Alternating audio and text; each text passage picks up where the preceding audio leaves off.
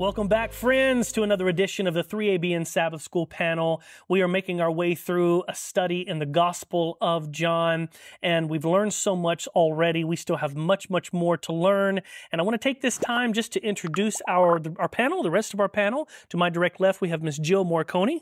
Thank you, Ryan. On Monday, we look at the woman at the well. All right. And then to your left is Miss Shelley Quinn. And I'm excited to be here. Tuesday's lesson is Sir Give me this water. All right. And of course, to your left is Pastor James Rafferty. Good to be here, uh, Ryan. I have Wednesday's lesson, The Revelation of Jesus. All right. And last but not least, we have uh, Pastor John Dinzey. Thank you. I have uh, Thursday, the testimony of the Samaritans.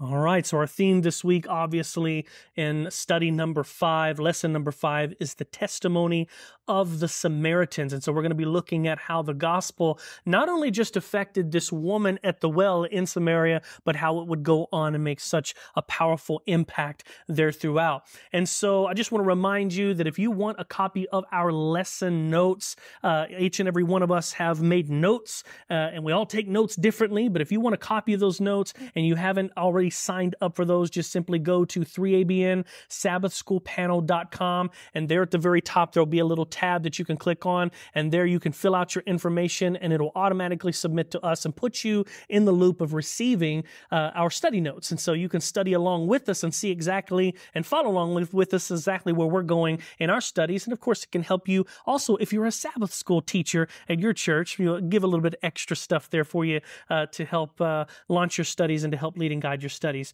But before we dive headfirst into this very, very exciting study of the gospel going to the Samaritans, I'm going to ask Pastor John Dinzey if he would have a prayer for us. Sure, let's go to the Lord in prayer. Our loving Heavenly Father, we are grateful to you for this opportunity to look into mm. things that encourage us and help us to understand more about you. Mm. We ask for the blessing of your Holy Spirit that we may speak words of life.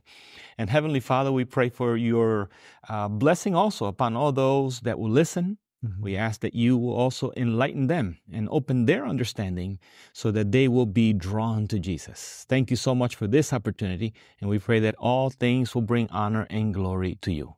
We ask you for these things in the holy and blessed name of Jesus. Amen. Amen. Mm, amen. Amen. Our scripture memory text for this week comes from John chapter 4 and verse 42, which says, Then they said to the woman, Now we believe not because of what you said, for we ourselves have heard him, and we know that this is indeed the Christ, the Savior of the world. Who were the Samaritans? That's what the lesson starts with. The northern kingdom of Israel had been taken captive by the Assyrians in 722 BC. To create political stability, the Assyrians dispersed their captives throughout their empire. Likewise, captives from other nations were brought to the to populate the northern kingdom, and these became the Samaritans who practiced their own form of Judaism. Relations, however, were not good between them and the Jews. For instance, the Samaritans worked against the rebuilding of the temple at the return of the Jews from Babylon. The Samaritans, meanwhile, had built their own temple on Mount Gerizim, but this temple was destroyed by the Jewish ruler John Hyrcanus, I guess that's how you say it, Hyrcanus, uh, in 128 BC. I did not know that. It's a new, new, new uh, fact for me.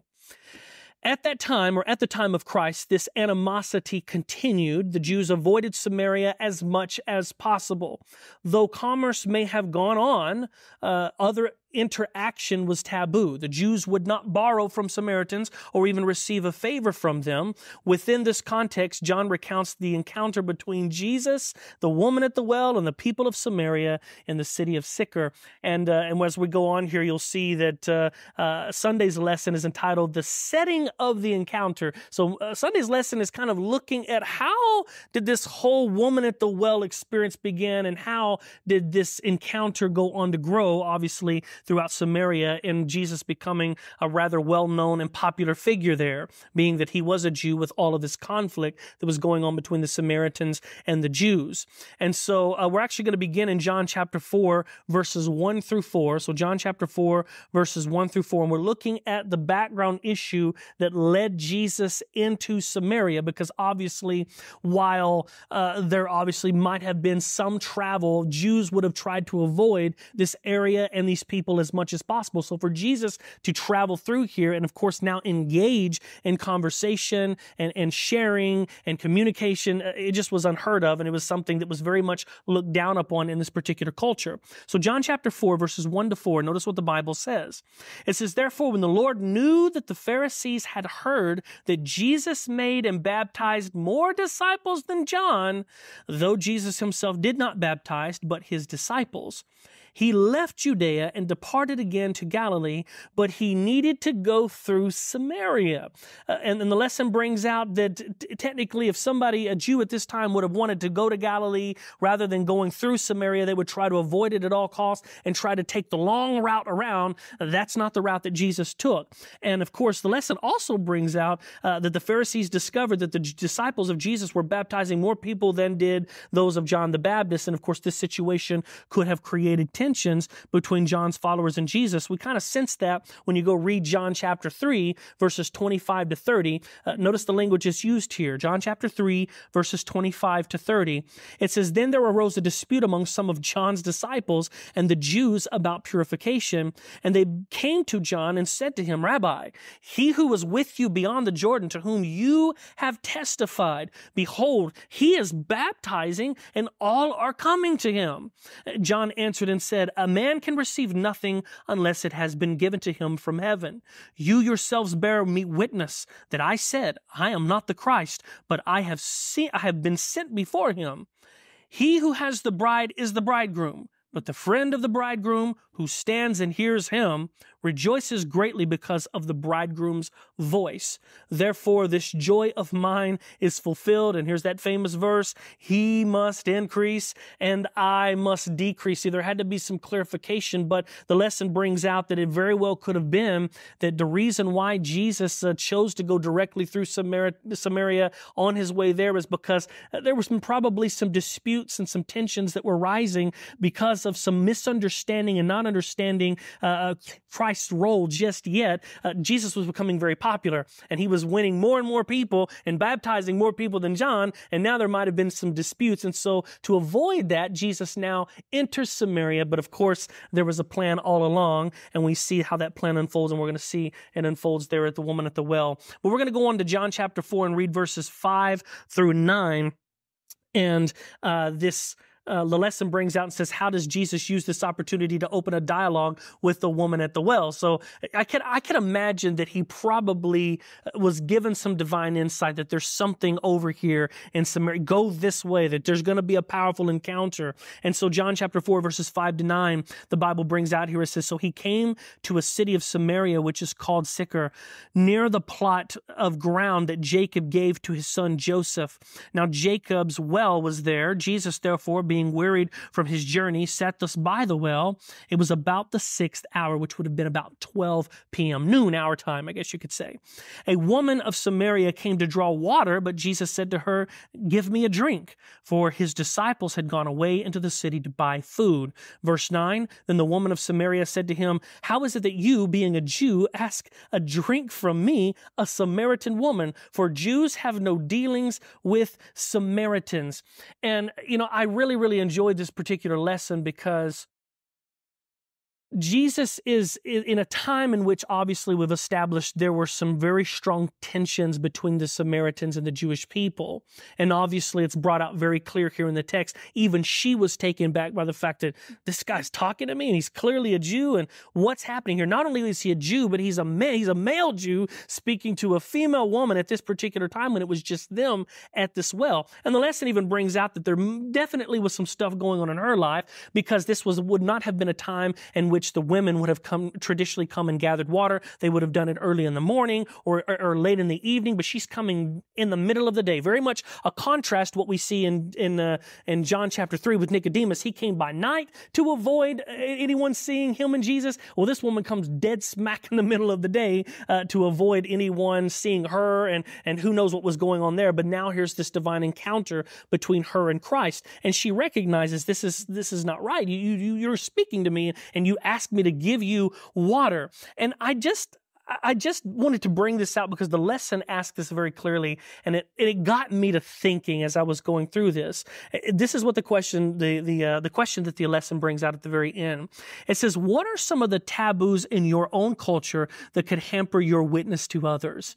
And and I, I don't know why, but I, my brain got to rolling. I thought, there, do we allow certain weird taboo things uh, to prevent us from being a witness or from talking or sharing Jesus Christ with others because of things that we allow to stand in the way? And and I just begin to jot some notes down here. Uh, sometimes we might allow skin color. Mm, that's true. The color of your, have you allowed the color of your skin or differences in color of skin to share Christ or to approach someone uh, with the love of Christ? What about social class?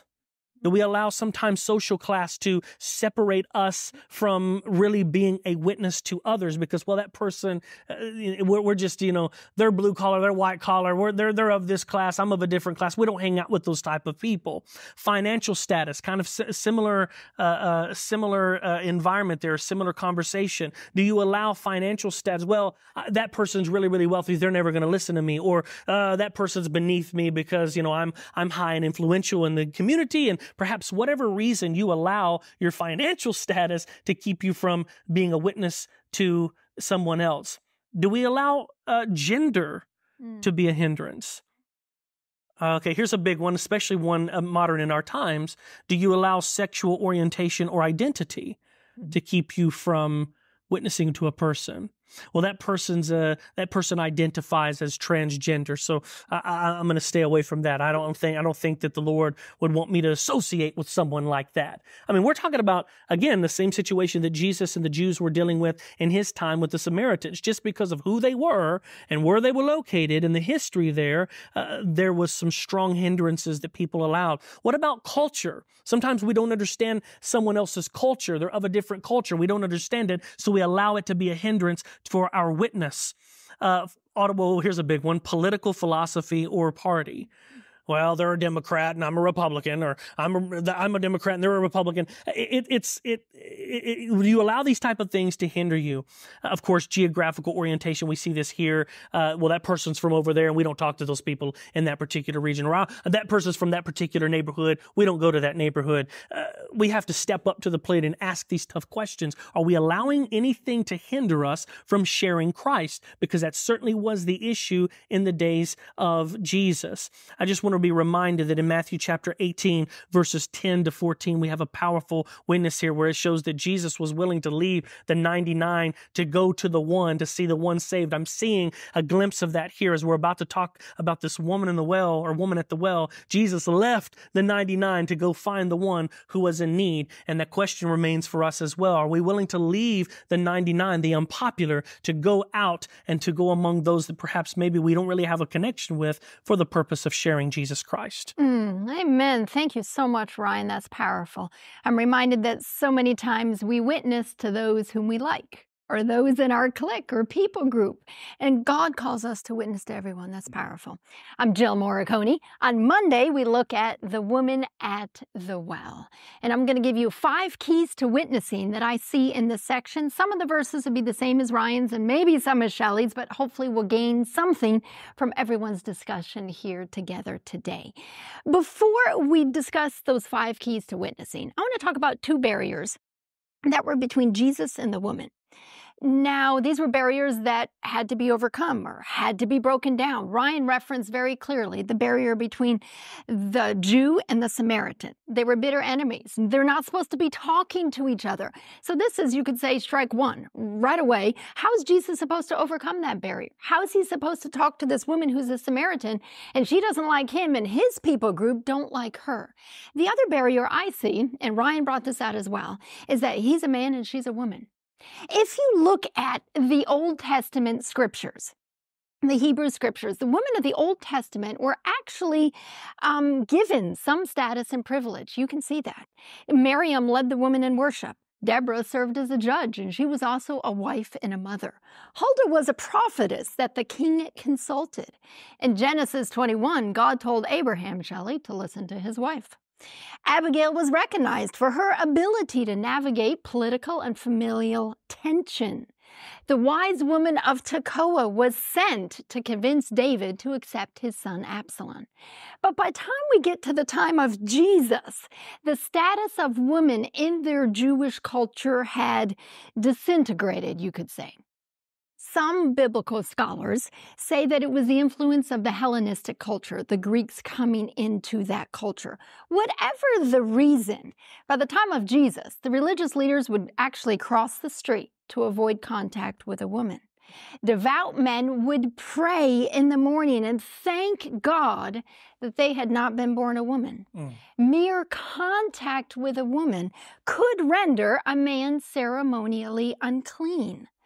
Women were not allowed to testify in court, which relegated them to the category of the Gentiles, or the minors, the deaf mutes, or the undesirables.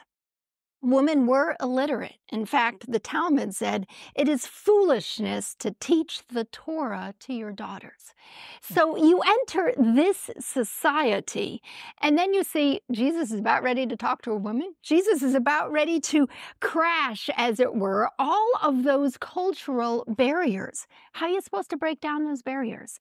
That is actually my first key to witnessing. Know how to break down barriers. You're, there's going to be barriers. No matter who you seek to witness to, there's barriers, whether it's social or economic or status, or Ryan brought out all those barriers that we face today. Know how to break them down. We're in John 4, verse 7, when she comes to the well. A woman of Samaria came to draw water. Jesus said to her, Give me a drink. Hmm. I love this quote from Desire of Ages, page 184. The hatred between Jews and Samaritans prevented the woman from offering a kindness to Jesus. But the Savior was seeking to find the key to this heart. And with the tact born of divine love, he asked, not offered a favor. The offer of a kindness might have been rejected, but trust awakens trust. In this situation, Jesus knew the key to opening up this conversation was to ask for a favor. And so that's what he did. He said, Give me a drink. It's important that we understand what those differences are between us and others prior to witnessing. They can be religious or cultural or ethnic, but understand, know how to break down those barriers. And how are we supposed to know that? Only the Lord Jesus. Ask the Holy Spirit for divine wisdom. God knows what the other person needs. God knows the key to their heart. God knows how those barriers can be broken down. So before you witness, just ask God, what is the key in this situation? How can these barriers be broken down? Number two, push beyond the earthly perspective. We're in verse 9, John 4, verse 9. The woman of Samaria said, How is it that you, being a Jew, asks a drink from me, a Samaritan woman? For Jews have no dealings with the Samaritans. And what does Jesus say? He pushes beyond the earthly perspective. Verse 10, he says, If you knew the gift of God and who it is who says to you, Give me a drink, you would have asked him, and he would have given you living water. You know, sometimes when we witness, we just stay in the small talk realm. I don't know how else to describe it, but we just stay talking about the weather and clothes mm-hmm. and sports and something that's just small talk and regular. And uh, the Samaritan woman is just staying in the regular small talk. Why, why, why are you asking me a drink? I'm a Samaritan, you're a Jew. Jesus is pushing past that earthly perspective and he's talking about the gift of God. If you knew what's really happening, he's trying to open up her spiritual eyesight, as it were. That this is not talking about a drink of water. We're talking about something much deeper. Number three, don't engage in controversy. Mm. So many times when we seek to witness, we push past the small talk, we try to get involved in something spiritual. And what if they come at you with something, well, I believe this and that? And then we start to engage in this controversy. Look at what Jesus does. We're in verse 11. 11. The woman said to him, Sir, you have nothing to draw with. She's still thinking physical, and he's talking about something entirely different. And the well is deep. Where then do you get the living water? And then she seeks to engage in controversy. Verse 12 Are you greater than our father Jacob, who gave us the well and drank from it himself, as well as his sons and daughters, de- uh, livestock? Sorry. Do you know who you're dealing with? We're children of Jacob. We are not outcasts or castaways. But Jesus ignores all that. He doesn't even engage in that controversy, and he pushes to the heart of the matter. Number four, offer something better. I believe in the heart of every man and woman who walks this earth is a God shaped hole, a desire for something different, a desire for something better. Even people who are wealthy, even people who look like they have their whole life together, need Jesus. Mm-hmm. Offer something better. Verse 13, he offers living water. Jesus answered and said, Whoever drinks of this water will thirst again. He, that's the physical. That's what she's thinking in. He's trying to push it to the spiritual. Here's something better. But whoever drinks of the water I give him will never thirst. But the water I give him will become in him a fountain of water, springing up into everlasting life. He's saying, I'm offering you salvation. I'm offering you everlasting life. Do you want that? Offer something better. It reminds me of Jeremiah 2, verse 13. My people have committed two evils. They have forsaken me, the fountain of living waters. And what did they do? They hewed for themselves cisterns, broken cisterns that hold no water. So many times we turn to other things instead of Jesus. We hold on to our idols, as it were, broken cisterns, desperately seeking answers and Jesus is right there. The wanting to offer us this living water. We turn to people instead of Jesus. We turn to books and philosophies instead of the Word of God. We turn to works instead of grace. We turn to fear instead of faith. We turn to tradition and human reasoning instead of the Word of God. Isaiah 12, verse 3 Therefore, with joy you will draw water from the wells of salvation. Jesus is wanting to offer this living water to this woman. He's wanting to offer something better. It reminds me when Jesus was at the feast, I think this is John chapter 7. And what does he stand there and cry out? If anyone thirsts, mm. come to me mm-hmm. and drink. He who believes in me, as the scripture has said, out of his heart will flow rivers of living water. This he spoke concerning the Spirit, whom those believing in him would receive. For the Holy Spirit was not yet given because Jesus was not yet glorified. Jesus longed to give this woman that living water. And what does she say?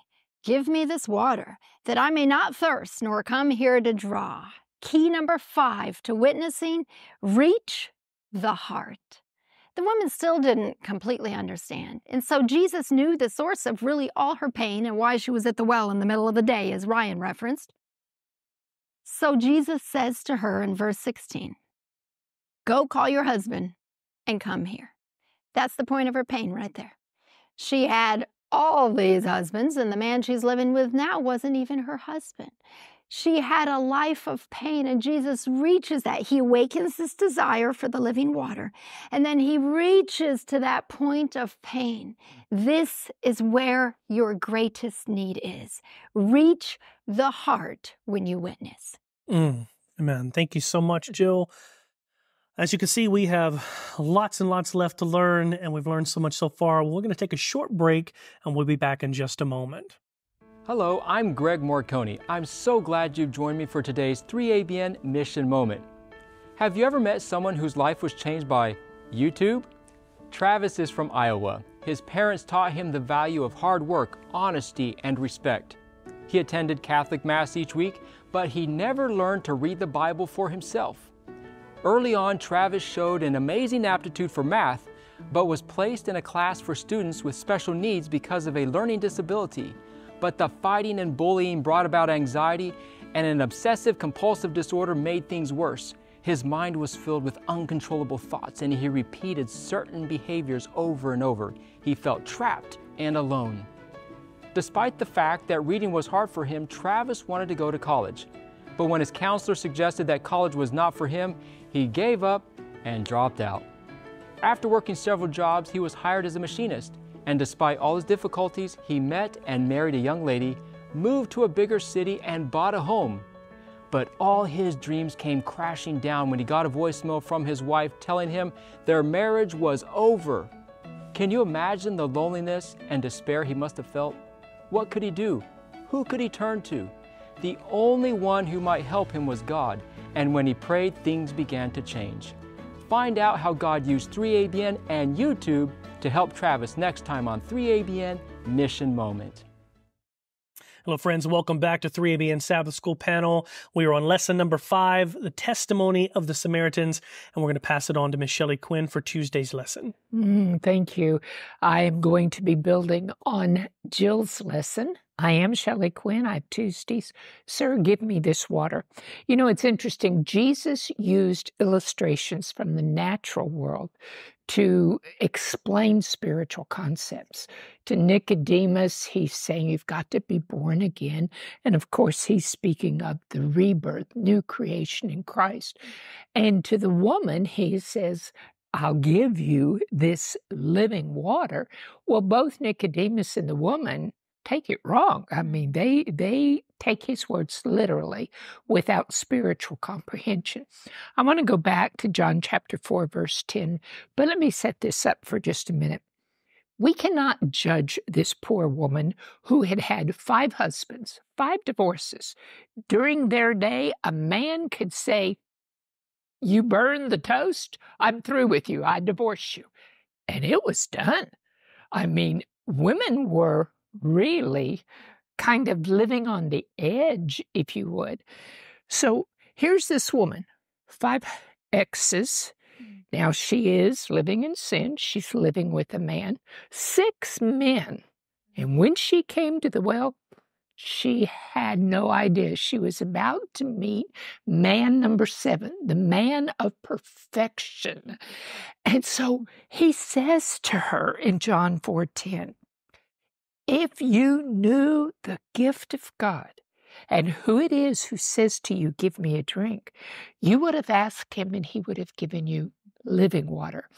You know, in my sanctified imagination, if you will allow me for just a moment, I see Jesus spreading his arms out mm.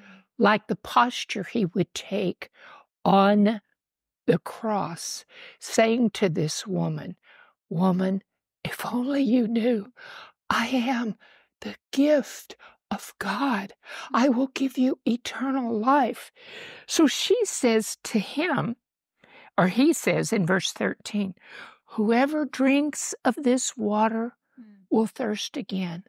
You're, you're looking for the water from the well, but whoever drinks of the water that I give him will never thirst again, but the water that I shall give him will become in him a fountain of water springing up to everlasting life. You've already referred to at the feast where he's talking in John 7 that this living water is the Holy Spirit. Now listen to the woman's response, John 4, verse 15. Sir, Give me this water that I may not thirst nor have to come here to draw.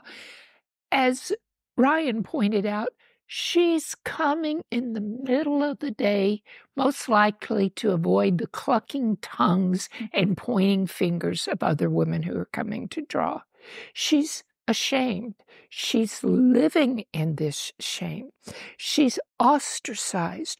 She didn't want to have to come back out here. She's still thinking literally. But it's interesting. He's asked her for a drink. Now the conversation has shifted. She's asking him for a drink. Mm. So now, boy, you talk about a conversation shift. Oh, sir, give me this water. He says to her, Go this is verse 16 of John 4. Go call your husband and come here. wow. Now that's quite the conversation. Why, why did he approach this topic this way? Mm. He could read her heart. He knew she is trying to avoid him knowing what's going on, but she's avoiding her past. And he knew that she had to face her situation to be healed. You know, the truth of what Nicod- uh, Jesus told Nicodemus and the woman at the well is reflected in Ezekiel 36, mm. verses 25 through 27. God said, I will sprinkle clean water on you, and you shall be cleansed. I will cleanse you. That is covenant language. That's a covenant promise. I will cleanse you from all your filthiness and from all your idols. I will, again, a covenant promise, give you a new heart and put a new spirit within you. I will, a covenant promise, take that heart of stone out of your flesh and give you a heart of flesh. I will put my spirit with in you and cause you to walk in my statutes, and you will keep my judgments and do them. I will cleanse you. This is spiritual cleansing from sin. We know that 1 John 5 17 says, All unrighteousness is sin, and man cannot make himself righteous again. So, what do we do? 1 John 1 9 we go to the Lord, and it says, if you confess your sin, He's faithful and just to forgive you your sin, and not just to forgive you, but to cleanse you of all unrighteousness. He puts that new heart. This is the re, the new covenant. Actually, the word can mean renewed. The renewed covenant is the indwelling Holy Spirit. Remember when King David prayed? In Psalm 51:10. And he is repenting and he cries out to God. It says, "Create in me a clean heart." Mm-hmm. Did you know the word he uses there is bara?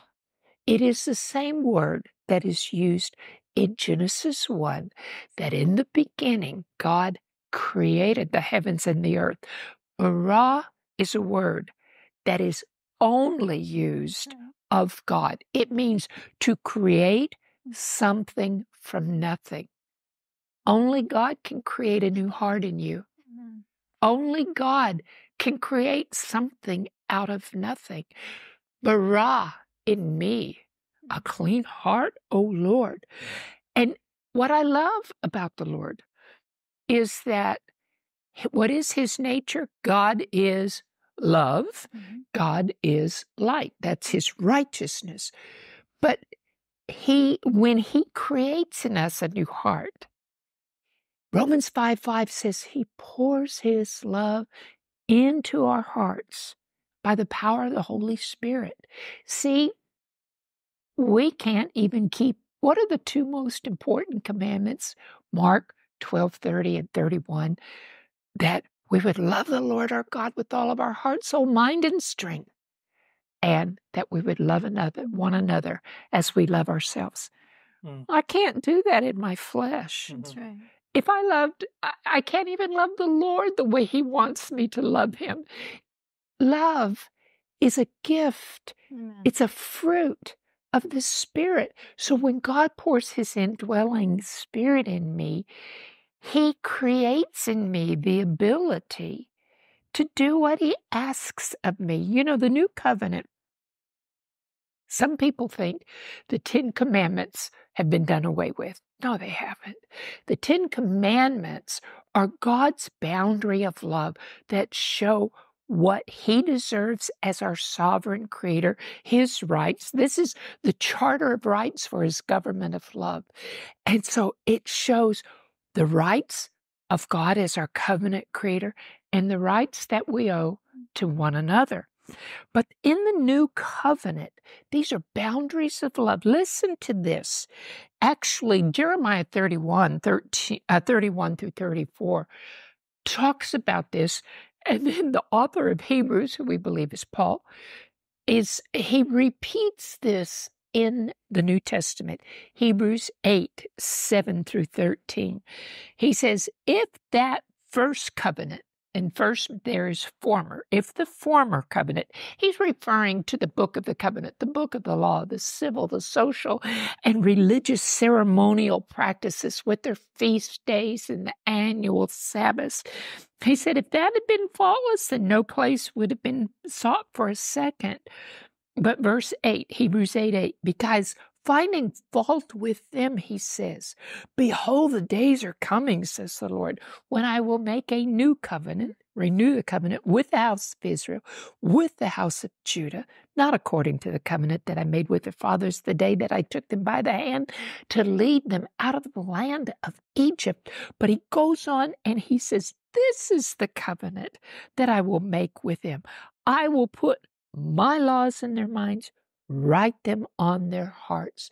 Here he's referring to the Ten Commandment law of love, which is his charter of rights. And this can only be we walk in obedience, motivated by love, by the living water that God pours in us. Amen. Amen. I love that.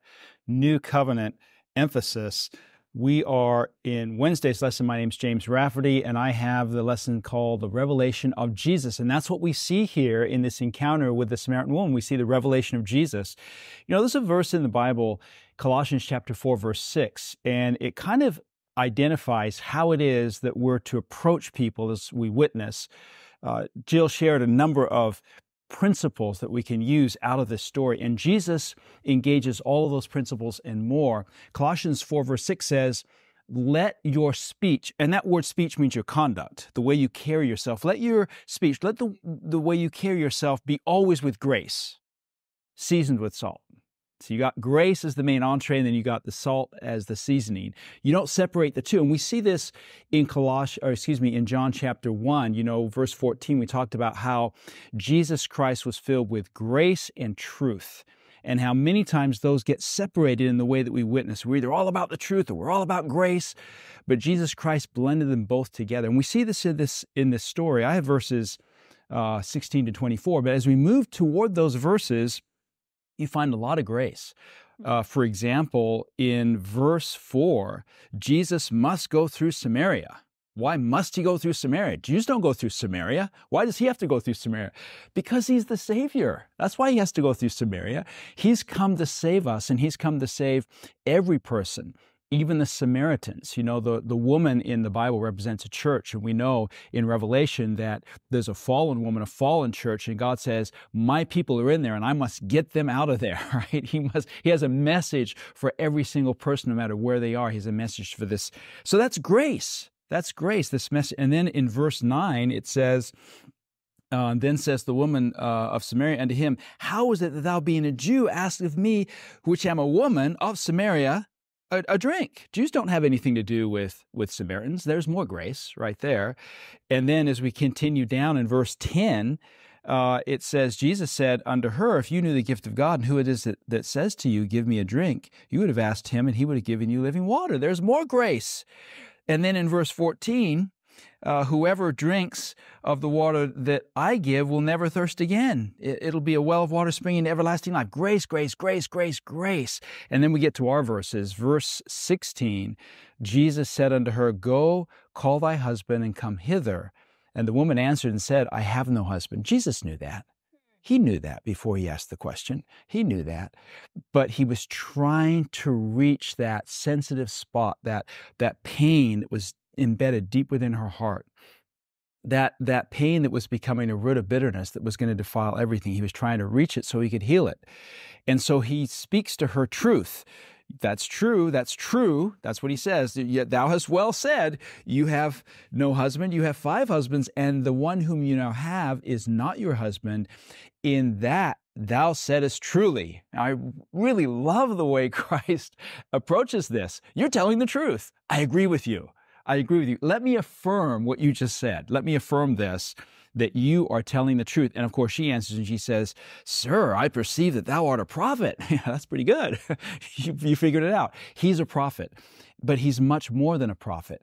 And of course, she's going to detour the conversation away from this sensitive area our fathers worshipped in this mountain, and you say that in Jerusalem is the place where men ought to worship. Jesus said unto her, Woman, believe me, the hour comes when ye shall neither in this mountain nor at Jerusalem worship the Father. You worship you know not what. Is that grace or truth? That's truth, right? Mm-hmm. You don't know what you're worshiping. We can't leave the salt out of the the grace, right? Colossians 4, verse 6, let your speech be always with grace, seasoned with salt. We can't leave the salt out.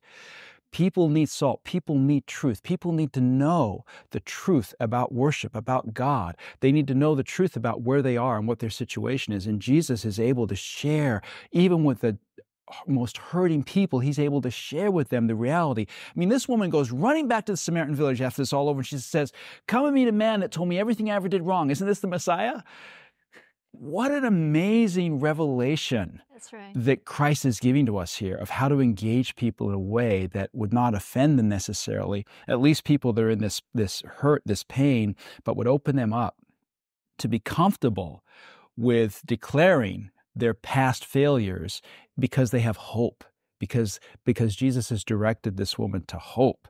You don't know what you're worshiping. The hour comes and now is when the true worshipers shall worship the Father in spirit and in truth. In spirit and in truth. And there's a little play on grace and truth. Spirit. What kind of spirit are you of? Didn't Jesus ask that to his disciples more than once? You don't know what kind of spirit you are of. We can have the truth, but not have the spirit of the truth. And the spirit of the truth is manifested in this encounter with this woman. This is the spirit of the truth. And then he says, The Father seeketh such to worship him. Those who worship not just in truth, not just on the right day, uh, not just understanding all the right theology, but also worship him in spirit. God is spirit, and they that worship him must worship him in spirit and in truth. So the quarterly goes on to say that the light was too blinding for this woman to look at directly. While recognizing Jesus as a prophet, the woman practices avoidance again. She asks Jesus a question of religious controversy between the Jews and the Samaritans, the proper place of worship. Hmm. In response, Jesus pointed out that the Samaritans did not know what they worshiped. They worship, their worship was a synthesis of Judaism and paganism, a mixture. Paganism had come into their religion, and there are many people who are in the same situation today. And I'll just be really frank with you Sunday worship comes directly from paganism. Ezekiel chapter uh, 8 and 9, it, those chapters identify sun worship as a, of pagan origins. And that's where we get sun worship from today. Even though we can say, oh, it's the day that the disciples gathered, the day they broke bread, the day Christ rose, none of that gives us a biblical basis or a commandment for going to church on Sunday. The Bible teaches the Sabbath is Saturday, the seventh day of the week. So there's, there's a mixture taking place here. And Jesus Christ goes ahead and identifies that issue in relationship to this woman, not in relationship to the doctrines, but in relationship to her heart need. You have a need to worship God. And let's not talk about the right day or the wrong day right now. Let's talk about the heart issue that you're dealing with, the thing that's deep down inside you, the way that you've been treated or mistreated by all these different people. And we could say, in a sense, that this woman was open to receive. In fact, Christ does something with this woman that he does with nobody else in verse 26, 25 and 26, the woman said unto him, I know that Messiah is coming, which is called Christ, and when he is come, he will tell us all things. And Jesus said unto her, Jesus said unto her, this is amazing, mm-hmm. I that speak unto thee am he. Yeah. He couldn't say that to, let's just talk uh, among us. He couldn't say that to a Seventh day Adventist. He couldn't, he couldn't tell his fellow church members who he was, but he could say it to a Samaritan. He could say it to someone who is of another religion. You know, in all four Gospels, the quarterly says this is the only passage before his trial in which Jesus plainly stated to someone that he was the Messiah. That's amazing. That is amazing. In other words, and you see this even in the birth of Christ, God has to choose people who aren't even of the Jewish faith to declare the coming of his son. And you've got the Magi, mm. the Magi, the wise men searching for Jesus. And he can't share this with the Pharisees. He can't share this with the religious leaders. They're not, they're not prepared for Christ to come as a babe. But the Magi, they're looking, they're searching. And you know, friends, wise men still seek him. Right? God is available to each one of us. We don't have to have some kind of religious authority or uh, pedigree behind us in order for God to open up to us these beautiful truths of Himself in Jesus Christ, Messiah. And you notice He didn't do it to some large crowd or some important personage or to some un, uh, but but to an unnamed Samaritan woman. Uh, the quarterly goes on to say, who was alone at Jacob's well. He's interested in any lonely soul who feels separated and alone. Right. So this woman was not only an alien uh, of, of culture, uh, but he, she was of the lowest moral character, right? She, she had had five husbands and she was living with a man right now. And yet Jesus openly reveals who he is. And having thus revealed to her his knowledge of her darkest secrets, he also gave this woman great reason to believe in him as well. And that's really our mission. We're called Christians because we believe that we're to be like Christ. Mm-hmm. And many times we miss these beautiful insights that the Bible gives us of what Christ was like in relationship to people because we get so caught up in the truth. Now, the truth is important, but of course, we have this emphasis from John, uh, this disciple who writes this gospel at the very end of his life, that reminds us that doctrine has a place, truth has a place, but the grace of God has to be the substance, has to be the, the main entree of everything we do and how we conduct ourselves so that souls can be won to Jesus. Amen. Amen. What a blessing to hear each one of you. Uh, well, my name is John Dinzey, and I have Thursday's portion of the lesson, the testimony of the Samaritans. This takes us to John chapter 4 now beginning in verse 27. And it says, And at this point his disciples came, and they marveled that he talked with a woman, yet no one said, What do you seek, or why are you talking with her? Remember that Jesus had just told this woman, I that speak to you, I am he. So now the disciples arrive on the scene and they're looking at this, mar- they're, they're shocked. They're? He's talking to a woman. And so they had been, of course, in the same area they had heard, uh, influenced by the scribes and the Pharisees, they were surprised. And I'm reading to you from something called Vincent's Word Studies. Uh, it says this they were surprised not at his talking with that woman, but that their teacher should converse with any woman in public. The rabbinical writings taught that it was beneath a man's dignity to converse with women. It was one of the six things which a rabbi might not do. Let no one, it is written, converse with a woman in the street, uh, not even with his own wife. It was also held in these writings that a, a woman was incapable of profound religious instruction, and it says, rather burn the sayings of the law than teach them to women. Uh, adding on to what Sister Jill already said, this was the mindset of these people. So, is this still true? You know, it's interesting now that uh, among some of the Jews today, there are some women that are rabbis. Uh, but to some degree, this still remains with them. I remember being in uh, in Jerusalem at one point, uh, the only time I went, by the way. But we were in a small group, and we had the opportunity to talk to a rabbi. And the, the lady that was with us, uh, through a translator, was talking to the rabbi, and she was so grateful for what the rabbi said that she said, "Oh, thank you so much. I really appreciate it. Thank you so much." And she put her hand out to shake his hand and he looked at her and turned away. She was really offended. She did not understand the culture and the reasoning behind this. And of course, Jesus here is doing something to let the disciples know uh, what they are doing is not right. Women have a rightful place, and he was bringing that to their attention. Now, moving to John 4, verse 28. The woman left her water pot went her way into the city and said to the men, Come, see a man who told me all things that I ever did.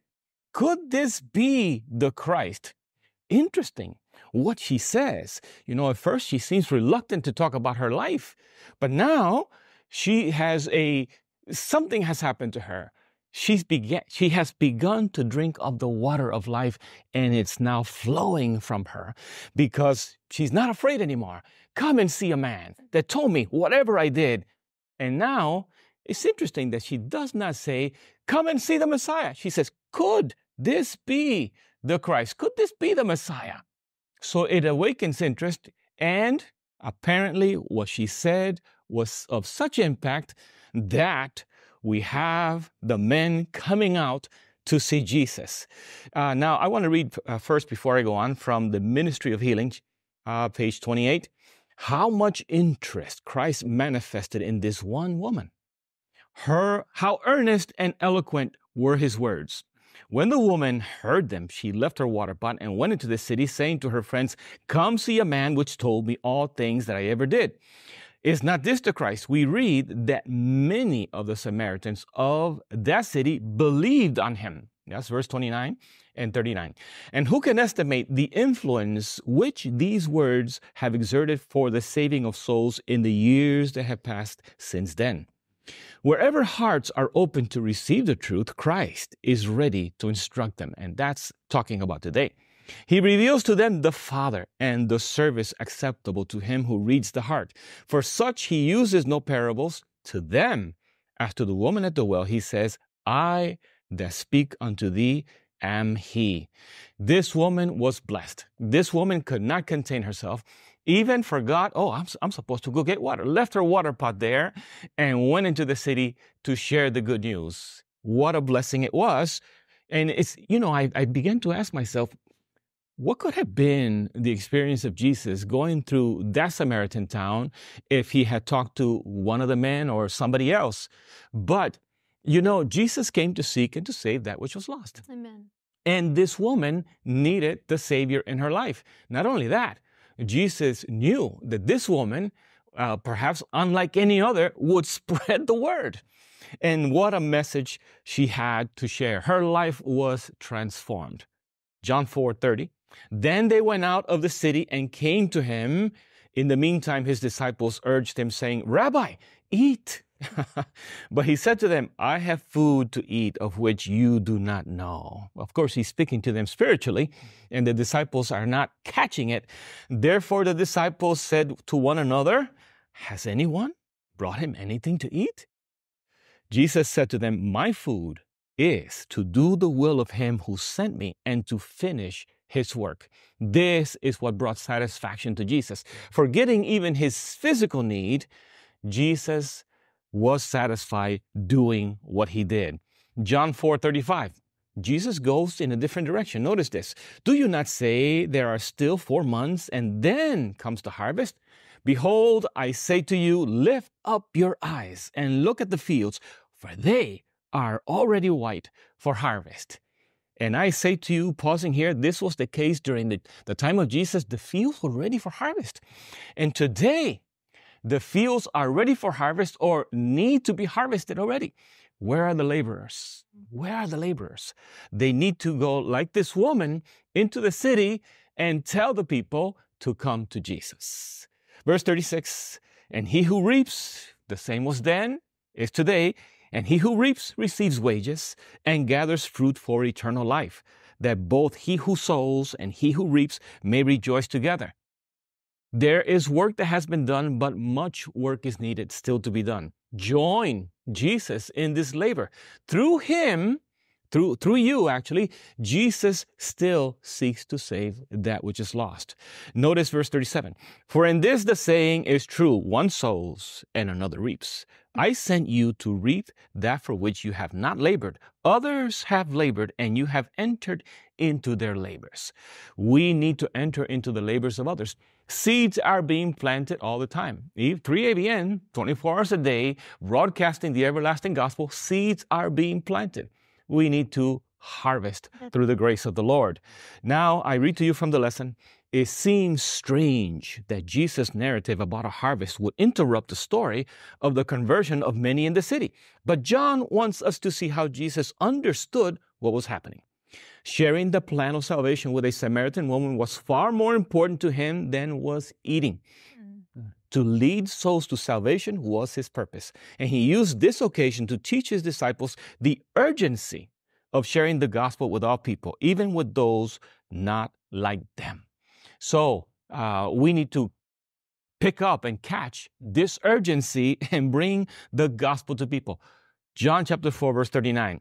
And many mm. of the Samaritans of that city believed in him because of the word of the woman who testified, He told me all that I ever did.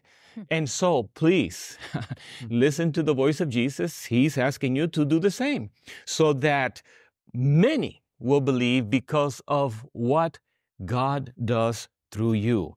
Uh, moving to John chapter 4, verse 40. And when the Samaritans had come to him, they urged him to stay with them. what a wonderful opportunity for Jesus. They urged him to stay. What, what should Jesus do? Mm. These are the Samaritans, the Samaritans, you know. But uh, Jesus stayed there uh, uh, two days, and the disciples surely must have been shocked. Mm. But notice verse 41 and many more believed because of his own woman, because of his own word uh, what a, a, great, great thing happened. And so, verse 42, I need to move quickly. Then he, then they said to the woman, now we believe, not because of what you said, mm-hmm. for we ourselves have heard him mm-hmm. and we know that this is indeed the Christ, the Savior of the world. Mm-hmm. What a testimony. And uh, these were these were great words for Jesus to hear because, uh, you know, we read in John chapter one, uh, he came unto his own, and his own received him not. But this was music to the ears of Jesus. Mm. Mm. Amen. Amen. Thank you, Pastor Dinzey.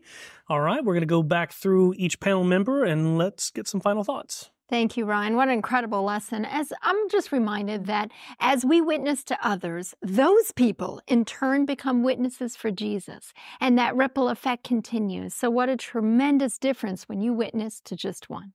Amen. What strikes me about this woman, this Samaritan woman, is that she was the most unlikely evangelist in the mm. world, but she opened the doors for Jesus to stay two days there. And mm-hmm. you know what? he didn't do any miracles there. Those people believed him mm-hmm. because of the combination of grace and truth. Amen. Amen. You know, the woman at the well is you. You are not passed by because of your history. Uh, Messiah is coming to you. Christ is interested in you. And Jesus knows everything you've done wrong, all the mistakes. And yet he wants to give you living water Amen. and take away your thirst for empty relationships so that you will never thirst again. Amen. Accept Jesus Christ and the offer he has for you, and your life will never be the same again. Amen. Amen. You know, they say that you can count how many seeds there are in an apple, but you cannot count how many trees and fruits of those trees hmm. are in that one seed. Mm. So I encourage you to plant seeds for Jesus Christ. Amen. Amen. This lesson has reminded me of Matthew 18, verses 12 to 14. Mm. Jesus says, What do you think? If a man uh, has a hundred sheep and one of them goes astray, does he not leave the 99 and go to the mountains to seek the one that is straying? Verse 13, And if he should find it, assuredly I say to you, he rejoices more over the sheep over that one sheep than over the 99 that did not go astray. And so, you know, I just want to be reminded here of this powerful lesson that Jesus gives the perfect example of going in to this other country that most didn't expect to get that last one, that one person that had strayed. Join us next week for lesson number six, more testimonies about Jesus.